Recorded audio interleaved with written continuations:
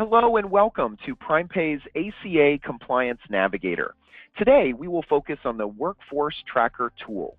The Affordable Care Act requires that applicable large employers review all offers of coverage to their full-time employees and monitor their variable hour employees to determine eligibility for coverage. Applicable large employers must make a qualifying offer of coverage to their eligible variable hour employees, their full-time employees and dependents, assuring that it is also affordable under the new ACA requirements. Introducing the Workforce Tracker Dashboard and Report Tool, which will provide a dynamic, comprehensive view of key metrics and measurements that will enable you to make real-time decisions based on real-time results. Click on the Reporting tab in the menu. Your company name will appear. Select the configuration type and then select your configuration ID. Once you have uploaded all of the current employee-specific data into the Compliance Navigator, viewing the results is easy. Click on the yellow track box to reveal several dashboards providing you with a high-level, quick view of several key metrics. Let's look at each.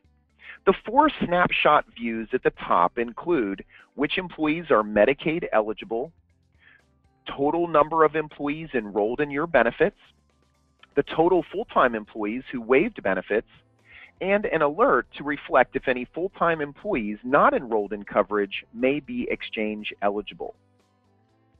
The first dashboard is workforce distribution. This dashboard provides you with a complete view of all employees, full-time, part-time, seasonal, and variable hour. By clicking on any specific item, it will reveal the names of the individuals that pertain to that item.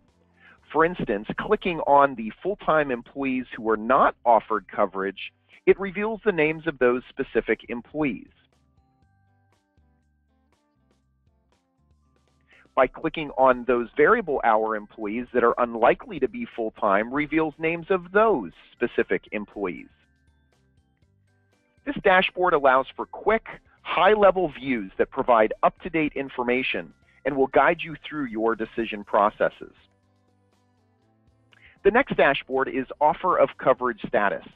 This dashboard provides a quick view into the percentage of full-time employees that are offered coverage. The employer mandate states that employers are to ensure that they offer coverage to a certain amount of the eligible full-time employee base. In 2016, employers must offer coverage to 95% of their full-time employees. This dashboard will be your guide to ensure that you are on track throughout the year. Dashboard number three is the workforce monthly trend. Four items are displayed for each month for you in the calendar year, and they include the potential Medicaid employees, the number of waived employees, those that are enrolled, and potentially exchange eligible employees. The last dashboard is called the 2016 ALE trend, and it provides the monthly full-time equivalent counts for the current calendar year.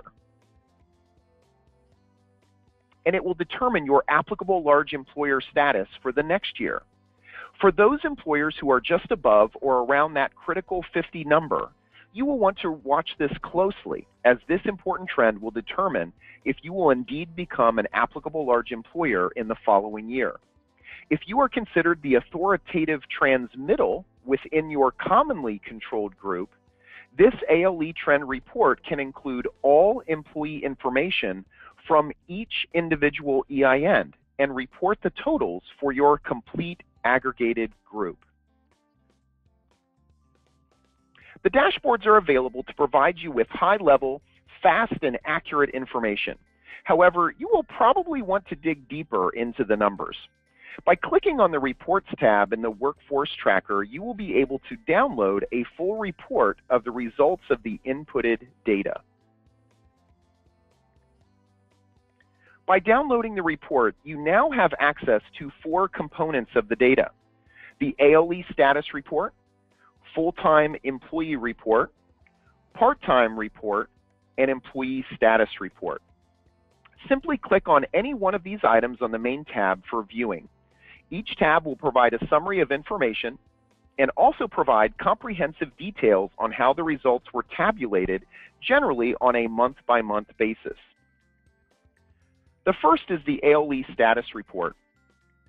The summary will reflect the total number of employees in the census population, the average number of full-time employees, equivalent employees, and then the average number of full-time employees and equivalents. Below, it will provide the monthly breakdown of what each month's calculation is based on.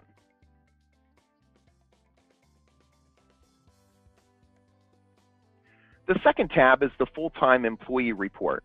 This tab will list all full-time employees and provide the status of enrollment and coverage, minimum value, Medicaid eligibility, affordability, and whether they are eligible for an exchange tax credit.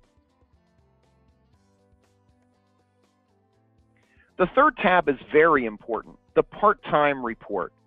This report contains all of the valid measurement period details for all of your variable hour employees. Each variable hour employee will be measured through their appropriate initial and standard administrative and stability periods. This report will reflect the period start dates, end dates, the average weekly hours during the periods, the total hours worked in the period, hours remaining to become eligible, average hours per week to become eligible, and the likelihood of that variable hour employee to become a full-time employee and require coverage. This report will want to be monitored by each employer on a regular basis. The final report is the Employee Status Report.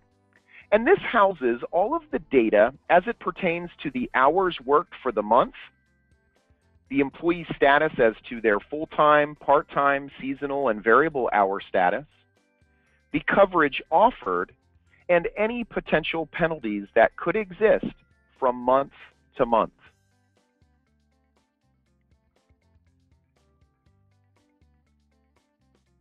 Your personal workforce tracker report will ensure that your company remains in compliance with the ACA reporting and employer mandate requirements on an efficient, accurate, and timely basis. It is that simple. You can find out more details on PrimePay's ACA Compliance Navigator solution by visiting www.primepay.com and additional tools, resources, and answers to your various questions can be found within our PrimePay Service Center located at support www.primepay.com. Thanks for watching.